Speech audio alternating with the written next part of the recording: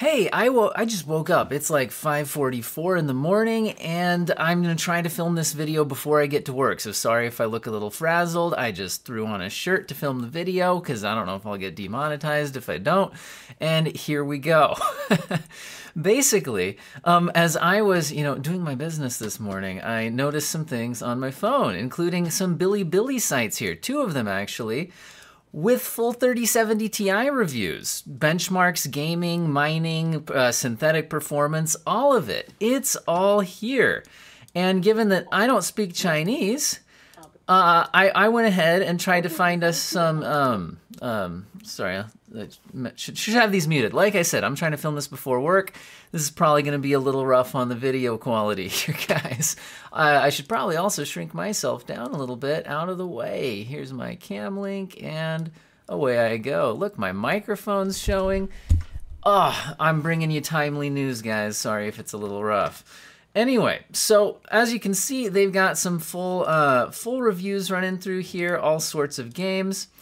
And I don't want to waste your time. We've got two of them here. Links to them will be in the description. This one is, um, uh, uh, yeah, this guy. Uh, I don't speak Chinese. We got this other guy who's wearing this cool hat. Or, sorry, hat, mask. Jeez, guys, I told you I just woke up. Anyway, uh, so if you happen to, I'll mute that again. If you happen to speak Chinese, they do have the GPU Z shots showing that, you know, they've got the card they claim they have, running a whole bunch of different tests. I was gonna throw here, go through and like screenshot everything and try to compare it, but then I realized I don't have time and somebody else has probably reported on this already. So thankfully, I found the uh, folks over here at VideoCardz did at least through one go through one of those videos. Um, although it looks like um, they were in the middle of a write-up while um, the second video, the guy with the dog hat over here, um, I keep saying hat. And now my phone just fell out of my pocket. Man, guys, I promise my videos are usually a little more put together than this, but like I said, gotta get to work in a few seconds. So let's go. anyway, um, they've at least analyzed uh, one of these uh, videos. Um, and let's just take a look at some of the summarized results. If you're thinking about the mining hash rates, these cards were limited. Um, by the way, these are not the Founders Edition models. These are um, AIB partner models. The Founder Edition models, I think getting your hand, hands on those without a non-disclosure agreement is a lot tougher. Anyway, um, so we've got uh, the fact that the uh, cards start at 78 mega hashes per second and drop down to 45 shortly. That's a significant limit, meaning that these will not be great value cards for mining unless these things get cracked. Will they get cracked? They haven't yet. I mean, nobody can say for sure. The other issue with mining hash limiters is just that, I mean, there could be other cryptos that aren't limited by this particular limiter that could end up driving up in value, and then, you know, it could all go out the window anyway. But at least for now, uh, these are limiting the main like Ethereum uh, mining, and it does seem to be effective enough for these not to be great cards for mining, which is a good thing in my opinion, since I'm looking at this from a gaming perspective. All right, as far as some screenshots go, um, I'm gonna flip through some of these kind of quickly. These are looking like some 3D Mark shots. You can pause my video. Like I said, I don't have a whole lot of time. I will also link the article in the description. Here's some more uh, screenshots from the 3D Mark results. Again, just pause my video. I don't have time to analyze all of this for you because I got some math to teach. This is finals week, you know. Ooh, big deal for my students. I'm actually having them build uh, castles in geometry class then like do some volume and surface area stuff. Anyway. All right. GTA 5, we got some Borderlands 3. So we're seeing it here compared to the 3070 and the 3080, which is exactly what I'd like to see it uh, compared with since those are the main uh, competitors from the price perspective. There's some of your GPU Z shots and shot of the chips. Okay, let's go ahead and summarize some of the results. So what you're probably looking for is how does this thing compare to a uh, 3080? So they have a 3080, not a TI version of the 3080. um, which is fine because the Ti version, man, that thing is so expensive. Anyway, whatever.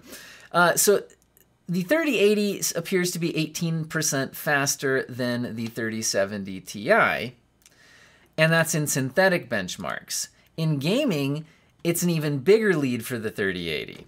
It's a 22% in gaming performance, and the 3070 non Ti is uh, losing at around 9.4% in benchmarks and 7.3% in gaming. Okay, so now let me give you some of my thoughts here on this card. So for one thing, I mean, I like that at least compared to the 3080 Ti, we're not seeing the ridiculous hundreds and hundreds of dollars jump compared to the non-TI version. However, you know, the 3070 Ti is $100 more. Again, this is pretending MSRPs mean anything right now, but it is $100 more than the non-TI. And I mean, it's a 7.3% gaming performance gain. Okay? So, if you gain 7.3% in uh, in your gaming performance for 100 bucks, I mean, okay, it it splits the difference in price between a 3070 and a 3080, right? It splits that exact difference on the MSRP. But it's not splitting the difference in terms of performance. It's clearly much closer to the 3070 non-TI than it is to a 3080. However, let's see how many 3080s we see now that they can sell 3080 Ti's with those chips. You know, if the chips produce good enough, uh, you know, good enough results. So I don't know, guys. Is this thing the greatest deal of the century? Probably not. There's the results that you've got. This article summarized a lot of them. We could pop over and try to take a quick look at through some of this video. Like I said, I'm a, uh, this is the video that the VideoCardz article did not summarize. Um, so I'm just going to kind of skim through a few results here, see if we can find any. Um, okay, like uh, we can see some Port Royal Time Spy. You can see uh, some results getting compared. So this one is also up against, it looks like the 3070 uh, uh, and the 3080. And this looks like we're seeing similar results from this reviewer as well. Again, I'm just going to skim through a bit here so you guys can have uh, just a bit of this.